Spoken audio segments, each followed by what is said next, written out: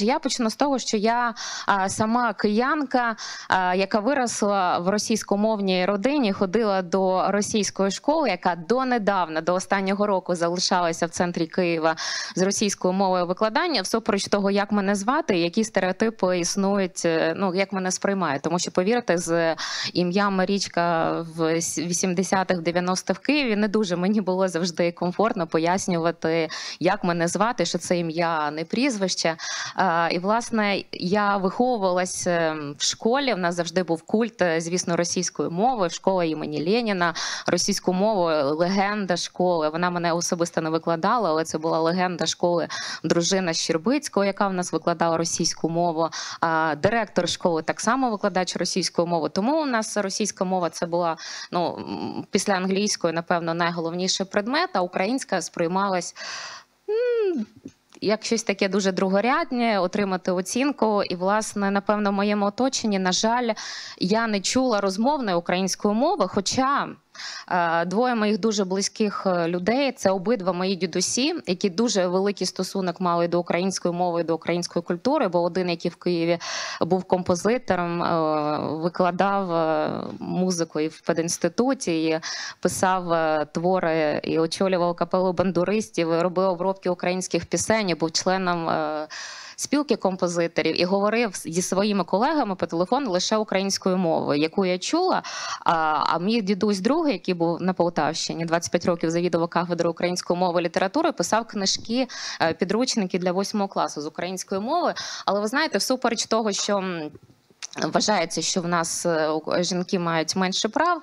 У нас Україна дуже матріархальна країна, і тому е, в наших родинах всіх сприймалися оці забавки митців е, чоловіків, які говорять українською мовою, як щось таке, що вони собі можуть дозволити. А жінка в нас всім завжди заправляла, і тому російська мова в нас такою була панівною. І, напевно, до того часу, як не дивно, поки я не закінчила свою школу, не вступила в інститут, і там трошечки мій київський снобізм російськомовний попустився, коли я зустрілася зі студентами з різних регіонів України, і мова викладання там же була українська, але мені так е, е, випала нагода е, перемогти в конкурсі і отримати стипендію на річне навчання в Америці, де тоді і далі ця програма існує. Вона просто зараз називається Flex, тоді називалася е, Збирають студентів з різних регіонів колишнього радянського союзу.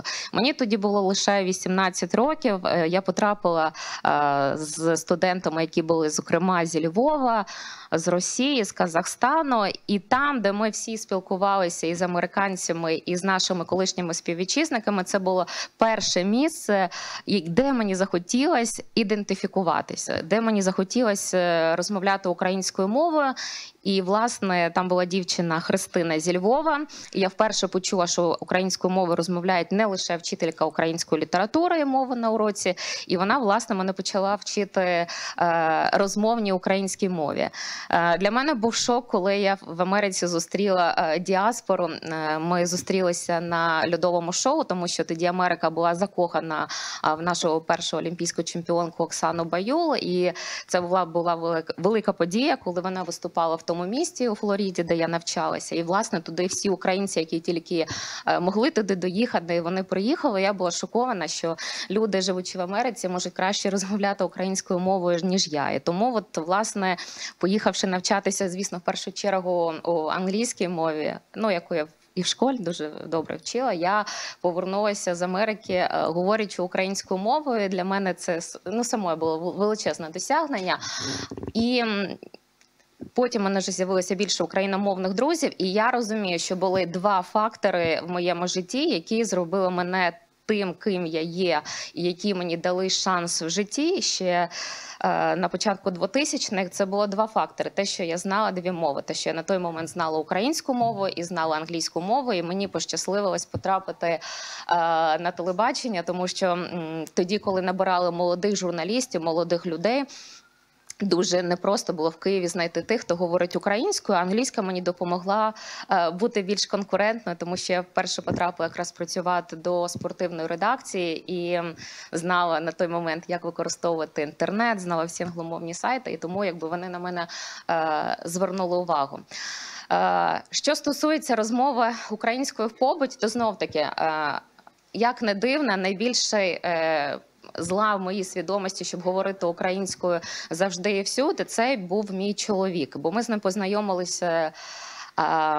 Ми з ним познайомились в компанії. Він вважав, звісно, оскільки я ведучою працюю на телебаченні, що я російською не говорю. Він почав зі мною говорити українською. А я вважала, що в тому середовищі, де я з ним познайомилась, е, ті люди взагалі, ну тобто, умовно кажучи, Андрій Шевченко, який зараз є послом е, України в Канаді, він навряд чи запросив би друзів е, на вечірку, які говорять е, російською мовою. Власне, ми почали говор- говорити з ним українською мовою. Тільки пізніше, може за кілька місяців, з'ясувалося, що я в принципі говорю теоретично російською, а він взагалі сам з Росії. Але тоді вже було пізно, тому що українська мова для нас стала чимось дуже нашим, інтимним, і ми вже ніколи не повернулись навіть побуді, ну в найбільш таких ситуаціях до того, щоб говорити українською. Ну і наступний був челендж, як в Києві виростити україномовних дітей. І в принципі, всі батьки, які вирішують це зробити, вони дуже успішні років до трьох. Це вам кажу, дівчата, у кого це попереду, або хто вже з цим стикався. До років до трьох все прекрасно. Ти пишаєшся, як тебе діти говорять українською, навколо там на майданчиках всі ой, вона. Боже, я пам'ятаю, там якісь е, до Києва приїхали люди з Казахстану на майданчику познайомилися. Такая маленька і вже читає по-українськи. Ну тобто комусь це взагалі вважалося, що дивина.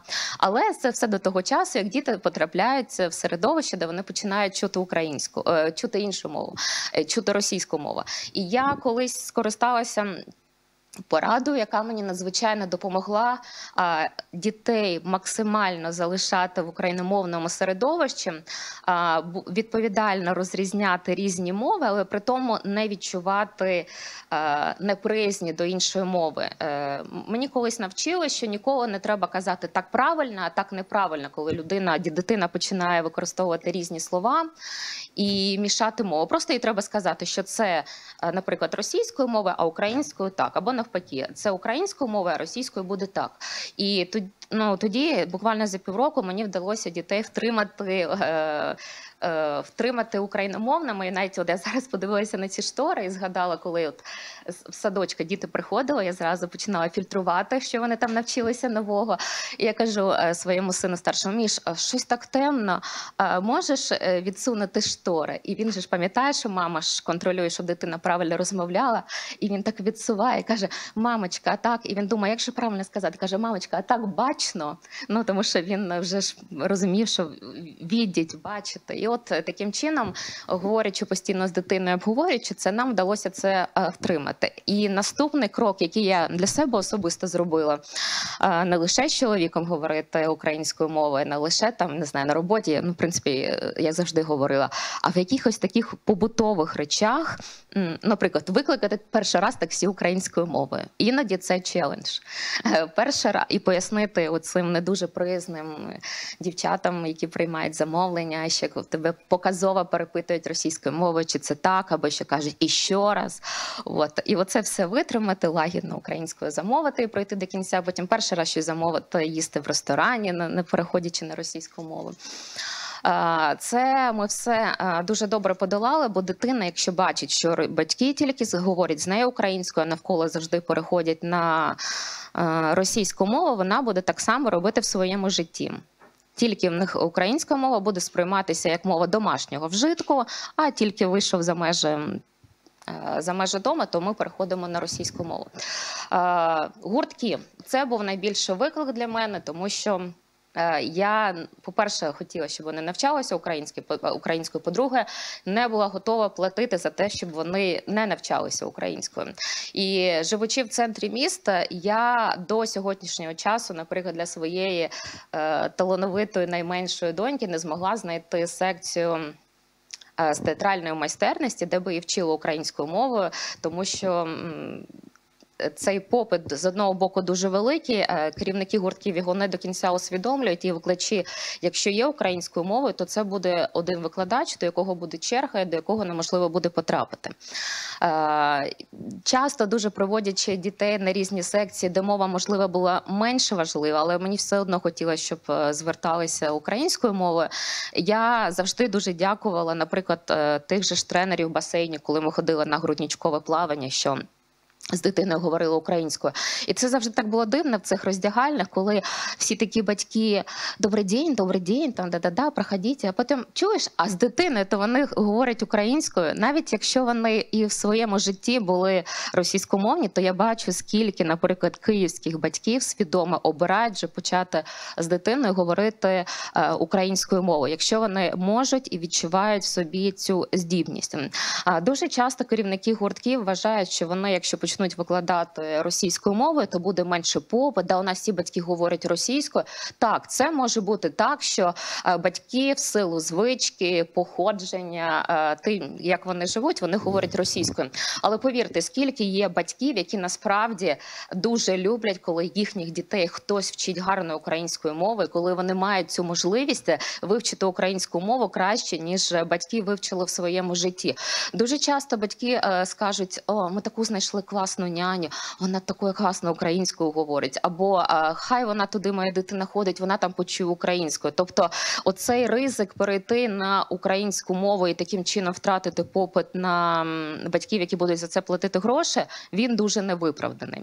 Е, я думаю, що набагато більше існує психологічних проблем, якихось е, інших психологічних факторів, які я сподіваюся, всі, хто зможе це зробити, отримують підтримку в цьому челенджі, навчає Україну українською, їх можна побороти і перейти на українську мову е, буде легше. Я дуже от чекаю послухати виступ Сергія Стаховського, тому що якщо, наприклад, ми знайшли викладача вокалу для моєї дитини українською мовою, і першу пісню вона сама вибрала, що вона хоче вчитись. Перша пісня це була якраз пісня там, де ми є, яку вона захотіла вивчити співати. До речі, окрім е, гурта Тантіла, який вона дуже любить, е, моїм дітям його можна сварити, звісно, за відсутність великої художньої майстерності або там за інші якісь там недосконалості серіалу школа. Але моїм дітям це дуже допомогло здолати оцей е, бар'єр, що в школі українська це тільки для е, вчителів. А значить, на перервах ми переходимо на російську. Хоча, звісно, тиск е, російськомовного середовища однокласників він є. Хоча в нашій школі всі мої діти говорять українською переважною кількістю однокласників, тому що це підтримується вчителями і є критична маса україномовних дітей, які можуть це україномовне середовище підтримують. І якщо вокал ми знайшли україномовний, то от Сергія думаю, Стаховський підтвердить, наскільки в нас русифікований спорт. Все, що стосується спортивних секцій, тренерів. От е, вся спортивна інфраструктура. Я пам'ятаю, я ж починала як е, спортивний журналіст. Я не пам'ятаю, щоб мені колись е, в своєму протягом своєї кар'єри вдалося взяти у спортсмена інтерв'ю українською мовою. Бо вони, навіть якщо приїздять сюди з різних регіонів, потрапляють на нашу там базу олімпійську, кончезаспу, все одно тиск російськомовної спортивної інфраструктури він залишається дуже надовго. І от я вважаю свого свого сина дуже дуже сильним е, в своїх поглядах, але він не може е, говорити. Єдине місце, поки що де він не говорить українською, це в своїй футбольній команді. Хоча, коли я е, приїжджаю там хлопців забирати на всі матчі, діти всі зі мною говорять українською мовою, але от цей комплекс є. Тут я розумію, ну, про що Ігор говорив. Тому е, мені здається, от головне, що я хочу сказати, що попит на те, що ви викладали українською мовою, він величезний і дуже сильно недооцінений. Е, тому мені здається, всі керівники гуртків гуртків це відчують, коли вони почнуть е, переходити на українську мову. А щоб їх підтримати, я вже про це писала. Я хочу зараз ще раз нагадати найактивніших учасників челенджа. Я дуже хочу, щоб використали мій інстаграм для вашої реклами, щоб ви отримали більше своїх учнів учнів, і, зокрема, таким чином фінансову підтримку. А коли я вже почала про це раніше писати в соцмережах, мені дуже багато батьків почали писати про те, що челендж челенджем, але дуже е, не вистачає якоїсь систематизованої бази гуртків, де україномовні батьки змогли в кожному місті подивитися, де можна знайти секцію, де в дитини то гарантовано буде українська мова. Тому мені хочеться, щоб всі про це давали е, знати організаторам челенджу. А я беру на себе відповідальність, щоб всю інформацію максимально поширювати. Мені дають зрозуміти, що я вже можу закінчити. Ні, ну, Дякую ви, ви ще можете звернутися до викладачів, якщо ще є якісь звернення до Е, викладачів. Я мені здається, що я викладачів зараз і кажу, як готова вас і далі підтримувати, записувати відеозвернення для ваших учнів, робити ваші секції ще більш престижними, якщо ви справді перейдете на українську мову. І 21 день це лише початок.